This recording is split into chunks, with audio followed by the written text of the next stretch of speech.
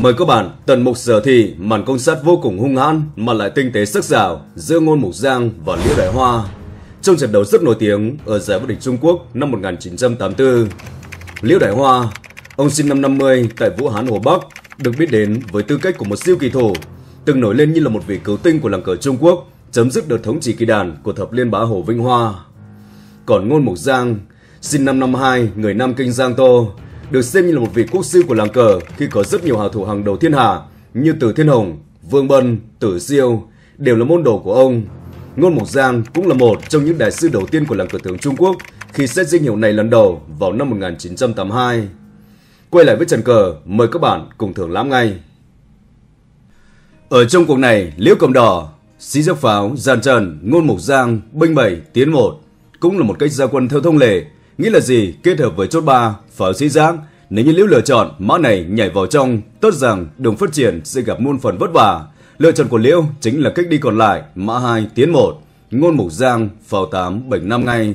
Đơn mã còn lại khỏi giữ nổi trung bình, bởi vậy cũng là một cơ sở để Ngôn Mục Giang đưa pháo vào đường trung tâm tiến công ngay. Liễu Đại Hoa tất nhiên mã 8 tiến 7 để giữ lại, Ngôn Mục Giang mới phát triển mã. Liễu tranh trước một con đường xe, rồi Ngôn Mục Giang tiến chốt còn lại thành dân lưỡng đầu già Nhưng đổi lại, phó mã của Liễu tất nhiên có chút cơ động hơn. Phó tám tạt biên, tam bổ hổ, chuẩn bị có thể đưa xe còn lại lộ diện, gây sức ép vào cả mạn phải của họ Ngôn, lúc này vẫn còn án binh bất động. Ngôn giải quyết trước, ngũ lục pháo trần, Liễu, bảy xe. Ngôn mới tức tốc đưa mã còn lại để phát triển. Rồi Liễu Đại Hoa, tưởng 3 tiến 5. Đơn để mã nhưng lại phi nghịch tưởng. Ngôn Mục Giang, mã nhảy lên bàn hà. Liễu Đại Hoa, C4 tiến 5. Ngôn tiếp tục C1 tiến thẳng hai trường. Rồi Liễu đã thò xe qua hà. Vừa chuẩn bị có thể bình sườn khiêu chiến ngay, đánh đuổi vào quân mã phía trên và nhân tiền mở pháo này bay qua hà, đe thẳng vào chốt biên của họ Ngôn. Ngôn biết vậy, nhưng Dũng Lược, bênh ba lấy tiến một lấy mã này đánh trả. Sau khi Liễu tới đây đã bành xe vào, thì Ngôn Mục Giang đã tiến chốt, Hồng có thể mời đổi. Thì Liễu lúc này đã sớm chấp nhận Ngôn Mục Giang cũng chém thẳng tay, Liễu lấy pháo này vượt sang. Nếu như thủ đoạn lấy C173 Hồng có thể ra được trận, cũng vất vả khi mà Liễu dùng pháo 7 tiến thẳng hai nước. Tạm thời nhờ tượng của mình giữ mạng rồi tiếp tục là pháo 9 lại kê vào, đuổi xe, đen luôn cả tường. Ngôn Mục Giang lại phải vất vả bởi vậy ngay tại đây, thứ tự đã thay đổi, ngôn quyết định dùng pháo này chém thẳng về chốt. Giờ mới chuẩn bị C173 mà đòn phản kích vừa rồi của Liễu là không thể nào thực hiện. Cho nên vì lo ngại, Liễu Quốc Đỉnh đã giành trước đường này của đối phương. Đương nhiên rằng bất tưởng là chuyện nhỏ. Sau khi tưởng 7 tiến 5 giải quyết đơn giản, Liễu lại tiến C1. Mục đích thực sự của Liễu Đại Hoa là xe bên này của Ngôn không thể nào thuận lợi mà đưa vào. Tới đây, Ngôn Quốc Đỉnh sĩ 6 tiến 5, Liễu lại dâng xe lên Hà rồi ngôn mục giang, binh năm lại tiến một. Đường cờ của họ ngôn tuy chậm mà lại vững chắc, mặc dù hai xe vẫn còn án binh bất động, nhưng áp lực về phía của Liễu lại tăng lên một cách đáng kể. Nghĩa là Liễu với ưu thế tiên thủ tạm thời vẫn chưa hề có một thế tiến công nhất định. Ông đã quyết định rời xe về bật pháo trung lộ, pháo lại rời một, tước tốc, mã một lại thối ba, tìm ra điểm để phản kích ngay. Liễu cũng chẳng phải là một tay cờ tầm thường, Tới đây sẽ là thủ đoạn mã 3 tiến 4 đánh vào quân bảo vệ, tức là chốt phía trên, rồi lấy xe này đuổi vào pháo trung lộ. Bởi vậy, ngay tại đây, ngôn ngay lập tức để triển khai ra một hệ thống phòng thủ từ xa, rất kín kẽ. Đầu tiên, mã 7 phi thân vào trung lộ. Sau khi liễu làm vậy, tức là đưa ngựa lên, ngôn bất ngờ, binh bảy đã tiến một. Nghĩa là gì? Một đòn phế không. Nhưng liễu, nếu như lấy xe này tiêu diệt, cứ tưởng là một phương án vẹn toàn. Nhưng đây sẽ là một cơ hội trời cho. Ngôn chỉ cần lấy xe bình tám mà thôi, áp lực về phía của Liễu tăng lên một cách đáng kể. Mặc dù rằng chỉ với một xe và phó trung lộ, nhưng ở một sát cục lại rõ tất cả 10 phần. Khi mà điểm chí mạng của Liễu Đại Hoa chính là quân ngựa từ vị trí này rất bất lợi, không thể nào phòng thủ kịp lúc. Gần như cả hai xe và hai pháo đều phải bất lực hoàn toàn trong chức năng phòng thủ. C775 cũng mệt, tại vì C173 bắt pháo 7 giành lấy một con đường rất quan trọng, cho nên lựa chọn tức thời đưa tướng suốt cung hóa dài nhưng tất sư bị họ ngôn tung ra ngón đòn tuyệt sát của mình. Đầu tiên lao xe để chiếu trước. Tướng leo lầu. Tiếp tục là pháo ra tay. Xí gác lên. Lại thủ đoạn pháo 4 bệnh 3 là một nước cờ cao ngút ngàn. vừa đang còn trực tiếp đánh đuổi lấy xe. Pháo này lệch sang lấy xe này bắt trả. Bỏ mặc đưa xe 172 ra trần. Đuổi pháo ngay. Không thể nào lấy xe này diệt pháo được. Tại vì xe 8 chỉ cần quay về chiếu một nước và xe sẽ phải tắc tử. Bởi vậy Liễu buộc phải pháo 8 tiến 1 để giữ lại Phương án tiến công điển hình là mã 5 tiến 3 lại truy đuổi. tượng này buộc phải gác lên. Tiếp tục là dùng pháo để lao về tường đáy ngay, bắt tượng còn lại. Ép buộc là tượng 7 tiến 5, rồi đưa ngựa này phi vào trung lộ, bắt xe. Tới đây nếu như vội vàng đưa xe rút chạy chỉ có thể lấy xe bình sườn, nhưng tất sẽ bị một đòn chí mạng. Pháo bình vào, bắt xe ngay. Quân xe này đúng nghĩa là tác tử, không còn cơ hội cho Liễu Đại Hoa. Bởi vậy sẽ chỉ còn một phương án duy nhất sau một nước ngựa rất cao cường của ngôn, chính là việc đưa ma 4 tiến 6 để ngăn cản. Nhưng chuyện cũng đơn giản mà thôi, ngôn lại rời xe về chiếu ngay. Tường thoái 1, rơi bỏ mặc vậy, tượng 5 tiến 7. Chuẩn bị cho một ngón đòn rất hiểm, lấy xe này để vỗ mặt, dư sức để gọi hồn. Không thể nào tướng diệt pháo được, mã chém sĩ cũng là sát. Bởi vậy chỉ còn cách lấy xe này để giữ mặt. Nhưng xe chiếu, tướng tiến một rồi bệnh xe sang. Liễu Đại Hoa chỉ còn cách là buông cờ. Biến đi vừa rồi chính là câu trả lời cho việc trong hình cờ này Liễu không thể nào lấy xe để chém thẳng vào chốt được, buộc phải đưa xe hai tháo chạy thoát thân ngay. Lựa chọn của ông xe tiến thẳng hai trường và ngôn cũng chỉ cần chờ vậy. Có một chốt qua hà yểm trở nhân tiền bắt mã sườn. Liễu Đại Hoa mã 4 tiến 6 hăm ngược lại vào mã trung lộ. Ngôn tiến phó một lại truy đuổi. Xe của Liễu lại giật về ngay hàng tường.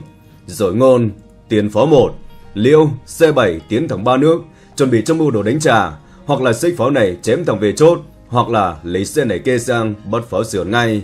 Ngôn Mục Giang thấy vậy, lập tức đã điều xe vào, nước cờ khá kín kẽ, tựa hệt như đã dành trước con đường sườn. Nhưng ngoài ra còn có một âm mưu khác. Pháo 4, bệnh 3, hâm tưởng tào sát và lấy xe này bắt từ vào chiến mã của Liễu ngay. Bởi vậy, Liễu đã tìm cách để hóa giải, đưa tướng quân để xuất cung. Ngôn Mục Giang mã năm tiến bảy. Rồi Liễu Đại Hoa xích pháo bay qua hà chém thẳng vào chốt, Ngôn Mục Giang mã 7 tiến 6 để tiếp cận. Liễu Đại Hoa mã 6 tiến 8 ngay. Ngôn bất ngờ lấy chốt 6 bình 7. Đây là một đòn cờ rất cao cường của Ngôn Mục Giang, không thể nào bình Ba tiến một, Xe 2 của Liễu tớ sư tác tử, cũng chẳng thể nào lấy xe này để kê vào bắt mã trước. Pháo chồng sang, xe cũng phải ra đi. Lựa chọn của Liễu là chiến xe còn lại, xe 7 bình 4 để bắt mã ngay. Ngôn Mục Giang trả lời, pháo này vỗ chiếu, tướng lại vào, giờ nhảy mã, tướng bật ngửa, pháo 4 tiến thẳng hai trường, một đòn cờ cao ngôn ngút. Tới đây còn chuẩn bị cho một rất cục rõ ràng, điểm pháo ngay, nhưng Liễu không hề có cách nào để ngăn cản cả. Sau một thời gian ngẫm ngợi, Liễu quyết định pháo bảy lệ thối một, bắt mã, tức là gì? Ngôn vỗ chiếu. Liễu dùng đòn cản tử, xe diệt pháo trước, chốt lóc vào, rồi chém lại mã sau. Một xe đổi được pháo mã, xem như Liễu vẫn còn chút ít cơ hội, nhưng thế công nhất thời, ngôn vẫn còn tồn tại. Hai chốt này có thể lăm le để vượt hạ ngay. Chưa kể là một nước tiên tiếp tục của Ngôn Mộc Giang. Xe bốn tiến thẳng hai trường truy đuổi. Ngựa này đã quay về bất trả. Rồi Ngôn lại rời xe bắt pháo biên. Pháo của liễu tiến thẳng hai nước là một nước chờ. Ngôn tới đây lại dùng pháo chém ra chốt, bắt mã ngay. Mã nhảy ra cánh biên, rồi tiếp tục dùng chốt để tiến một. Liễu Đại Hoa, xe tiến, bắt pháo ngay nhưng cũng chẳng hề hấn gì cả. Ngôn lấy pháo này lại tiêu diệt về chốt. Liễu tổ chức để phòng thủ. Tướng vào cung. Ngôn Mục Giang bảnh xe sang truy đuổi.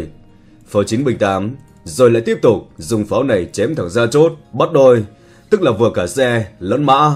Liễu Đại Hoa cũng chỉ còn cách xe này tiến một để giữ lại, rồi Ngôn mới đưa xe 9 để xuất trận. Bàn cờ sắp sửa truyền tàn thì Ngôn lúc này mới điều động chiến xe còn lại, nhưng Liễu Đại Hoa vẫn không thể nào tránh khỏi một kết cục rất tang thương trước mặt. Chỉ còn cách pháo ba thối một phòng thủ. Ngôn lại đưa pháo vỗ vào trung lộ để sát cục. Liễu chẳng còn lựa chọn khác, lấy pháo khiếp vào để phòng thủ như là một đòn chuẩn bị. Ngôn Mục Giang binh 6 tiến 1. Liễu Đại Hoa rời pháo về để phòng thủ. Ngôn lại C1 bình 3 bất tường. Đầu tiên sẽ là chém tường 7, rồi tiếp tục là tường trung lộ. Liễu Đại Hoa chỉ còn cách quy hàng khi hàng tuyến phòng thủ đã tan tác cả. Bởi vậy cũng chỉ còn lựa chọn Liễu bình xe vào đuổi chốt, ngôn lắc chốt ra. Rồi Liễu lúc này mã 9 lại quay về, lấy thối làm tiến, tức là chuẩn bị. Mã 9 tiến 8 vừa chia cắt xe, vừa lúc này đe được vào pháo trung lộ. Ngôn Mục Giang tìm cách ngăn cản, pháo 5 để thối một. Liễu Đại Hoa, mã 8 tiến 6 đe vào chốt là quân bảo vệ. Ngôn Mục Giang xe 375 để giữ lại. Liễu tiếp tục pháo 8 bình 7 Âm mưu tới đây là mã 6 tiến 7, bắt đôi cả pháo lẫn xe. Ngôn thấy vậy, tưởng 3 tiến 1 để phòng thủ. Liễu, pháo 7 tiến thẳng hai nước. Phong tỏa trước một lộ rất nguy hiểm. Nếu như để rơi về tay của Ngôn thì xem như mọi chuyện không thể nào gỡ gạc. tức là C7 tiến lên để bắt mã sườn của mình. Ngôn thay đổi bằng phương án khác, binh 7 đã tiến một. Liễu Đại Hoa lấy pháo để tạt biên. Ngôn tiếp tục lại đưa xe tiến cửa hà. Liễu dùng mã 6 quay về, ra sức mà điều chỉnh. Nhưng cũng cực kỳ vất vả. Lúc này Ngôn, pháo 5 tiến một. Liễu đã theo xe. Ngôn tự nhiên để tràn chốt được qua hà. Liễu tiếp tục lại rời pháo hai trường, bắt vào chốt, hay nói chính xác hơn là một đòn kiềm chế tạm thời. Càng bất ngờ với lỗi dùng binh của Ngôn Mục Giang, binh 7 đã tiến một, bật pháo ngay. Quân chốt này tựa chừng như đã lột. Vậy thì dùng ý thực sự của Ngôn là gì? Tới đây Liễu pháo 4 tiến thẳng hai trường, và Ngôn lấy C5 bệnh 8 ngay. Liễu tiếp tục lấy pháo để tạt ra biên, như là một cách chuẩn bị cho đòn cờ tiếp tục của Ngôn. C8 cầm đáy, chuẩn bị có thể đưa chốt này vào, rồi có thể kích đổi. Liễu Đại Hoa dùng mã quay về, Ngôn bệnh chốt, ép đổi. Liễu buộc phải chấp nhận. Xe này diệt, tướng xuất ngay. Rồi tiếp tục là dùng pháo năm bệnh tám để chờ đợi. Liễu Đại Hoa khiêm pháo vào. Ngôn đã lao xe lên truy đuổi. Pháo rời một, rồi xe bảy lại quay về. Thủ pháp của Ngôn tỏ ra vô cùng sắc sảo, gọn gàng. Liễu tới đây chẳng còn bất kỳ một cơ hội nào. Mặc dù sĩ tưởng vẫn còn đầy đủ, nhưng hệ thống phòng thủ này làm sao mà có thể đương cử nổi với một lực lượng quá hùng hậu của Ngôn Mục Giang, chuẩn bị có thể đưa hai chốt này vượt qua Hà. Tới đây Liễu, tướng 4, bệnh 5 và Ngôn Mục Giang, bình biên, tiến 1. Liễu tiếp tục mất 6 tiến 8 ngay. Ngôn Mục Giang chỉ cần điều xe sang truy đuổi. Pháo của Liễu tiến 1 để giữ lại, rồi Ngôn lắc chốt sang. Nước cờ này để chuẩn bị cho âm mưu lấy pháo này kê vào bắt xe của đối phương. Ngôn chỉ cần xe 2 bình 1 không thể nào quân ngựa này có cơ hội xông lên tuyến trên được. Liễu Đại Hoa dùng tướng năm quay về. Ngôn Mục Giang dùng pháo lại thối một. Liễu tiếp tục lại rời tường. Ngôn lại dùng chốt để lao qua. Liễu dương sĩ lên. Ngôn dùng tường để quay về phòng thủ trước. Liễu Đại Hoa bình pháo vào đuổi chốt. Chốt chỉ cần lóc vào giữa trung lộ. Và rõ ràng quân pháo này của Ngôn đã có tác dụng hạn chế được việc mã của Liễu Đại Hoa có thể đưa lên tuyến trên. Biết vậy, nhưng Liễu vẫn dùng mã tám tiến bày tìm cơ hội và ngôn chẳng ngần ngại mà ra tay ngay. Tượng này quăng lên, lấy xe điểu sang truy đuổi pháo hai Pháo của Liễu khép vào sĩ giác, giờ ngôn tiếp tục điều xe vào bất tượng. Tượng này quay về, binh lại tiến một áp sát. Liễu tới đây vào 4 thối 2. Ngôn Mục Giang đưa xe quay về cửa hà. Liễu tiếp tục đã gác sĩ. Ngôn chẳng ngần ngại mà ra tay. Chốt chém tượng. Tượng này quăng lên, rồi điều xe vào truy đuổi. Tượng này trước sau gì cũng phải mất mạng. Liễu Đại Hoa, bình tướng, ngôn chém gục và Liễu lập tức đã buông cờ. Chuyện cũng hoàn toàn dễ hiểu mà thôi, khi đây là một tàn cục lệ thắng cho ngôn, Liễu chẳng còn bất kỳ một cơ hội nào để xoay trở. Còn video này đến đây là kết thúc. Xin chào và hẹn gặp lại các bạn